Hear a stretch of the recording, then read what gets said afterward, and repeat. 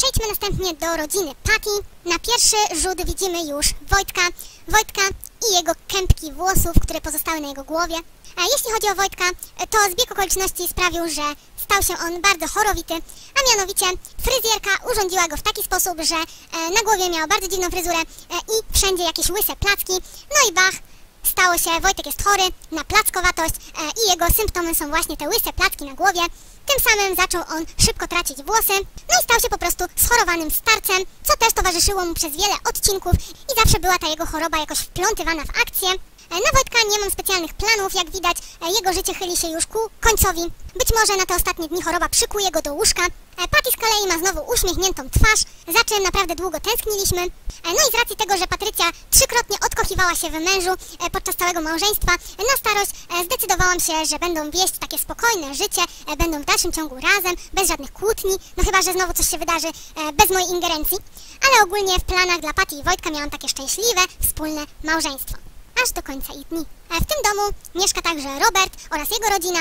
No i Robert w przeszłości był niezłym imprezowcem. E, Codziennie wieczorem wybierał się na jakąś imprezę, czasem wyciągał też Wojtka i tak dalej. E, No ale później nastąpił ślub, urodziny Tymona, no i zresztą Robert rozmawiał z księdzem. No i tak się to stało, że postanowiłam wywrócić jego życie do góry nogami i skończyło się na tym, że Robert obiecał księdzu Bartku, że e, więcej po alkohol nie sięgnie, na imprezy chodzić również nie będzie, no i tym samym poświęcił się rodzinie, a także zbudował dla nich dom. Lilka to jest jedyna osoba, dla której nigdy nie miałam żadnego planu i też na przyszłość zupełnie nic dla niej nie planuję. E, jest to dość dziwne, bo zazwyczaj dla kobiet e, mam jakieś tam spojrzenie na ich przyszłość i ogólnie też pałam jakąś większą sympatią niż do facetów. E, a Lilka jest mi naprawdę bardzo obojętna. No i poza tym, że robi sobie ona swoją karierę gracza, to tak naprawdę niewiele wnosi do tej rodziny. Także niech żyje.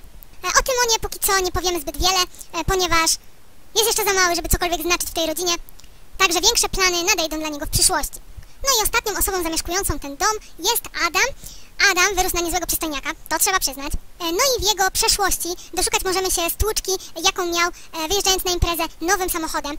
No i tutaj naturalną konsekwencją e, musiał być szlaban dla Adama, który ciągnął się też przez kilka odcinków. No i dla Adama na przyszłość liczę na jakieś romanse, ale nie wdawanie się w głębsze relacje rodzinne, tak więc na pewno ślubu tutaj nie zobaczymy w tym przypadku. Pod znakiem zapytania, i to nawet dwukrotnym, e, mam e, jego walkę o Sonię, ponieważ w wieku nastoletnim byli oni razem ze sobą, jednak Sonka okazała się być o 10 lat e, starsza od niego i tym samym się to skończyło. No ale może jakaś walka z jego strony? Dlaczego nie? Teraz są już oboje dorośli. W moich notatkach przez bardzo długi czas przewijał się temat remontu domu e, u tej rodziny e, i cały czas e, starałam się jakieś nowości wprowadzić. Co chwilę pisałam sobie remont kuchni, remont łazienki i tak.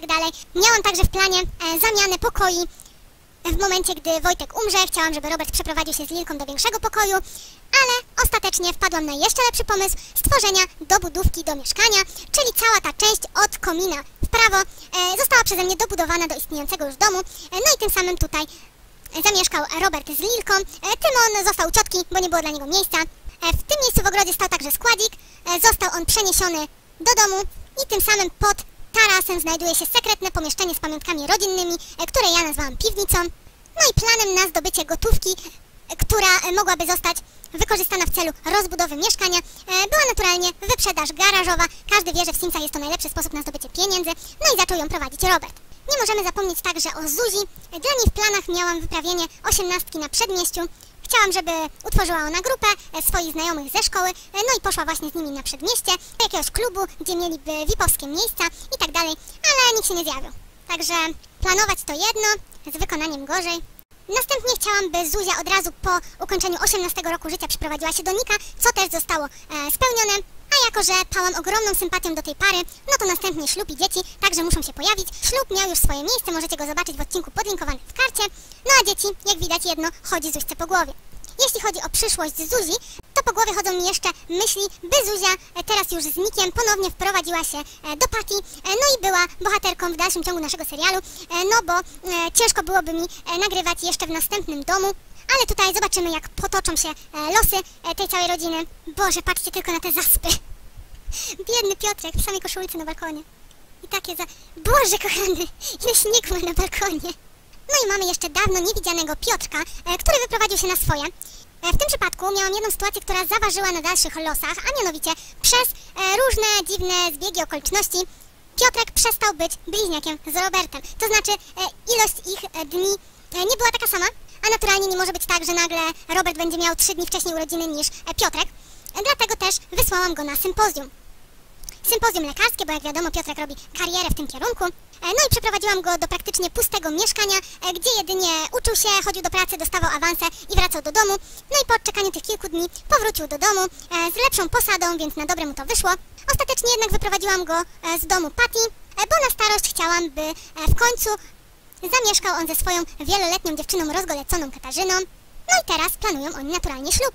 E, Jako, że ta dwójka ma całkiem sporo pieniędzy, zresztą mają dobre zawody, także stać ich, tym samym e, u nich na podwórku pojawiły się dodatkowe zabudowania, jak widać wszystko to ośnieżone. E, Piotrek miał właśnie obchodzić w następnym odcinku ślub, e, jednak okazało się, że całą okolicę zaśnieżyło, e, a ten jego skrawek ziemi już do tego stopnia, że nie da się po prostu zrobić żadnego przyjęcia w ogrodzie, w domu to na to nie ma zupełnie miejsca, także trzeba było zrobić e, jakieś zabudowanie. Nie chciałam ich też wyprowadzać, potem musiała dom od nowa robić, także wydaje mi się, że bardzo ładnie e, wyszła tutaj ta część, w której odbędzie się uroczystość.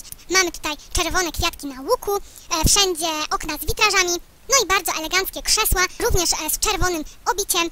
Do tego zamiast żerandoli mamy świece zapalone, tak więc jest nastrojowo. No i tyle, ile tutaj się zmieściło. E, Miejsc tyle właśnie powinno gości się zjawić. Do tego mamy również wyjście do drugiego pomieszczenia, żeby nie chodzić po śniegu, również tutaj zostało zamurowane. No i w tym drugim pomieszczeniu odbędzie się e, bardzo skromne wesele. E, mamy tutaj zaledwie kilka miejsc siedzących, stoły, białe krzesła, małe radyjko po tej stronie, owoce już ustawione. No i zamiast bufetu pojawią się tutaj jakieś dania, które zostaną przygotowane może przez jakiegoś gościa, może Patty się zgodzi. A następnie Piotrek zabierze e, swoją małżonkę w podróż poślubną.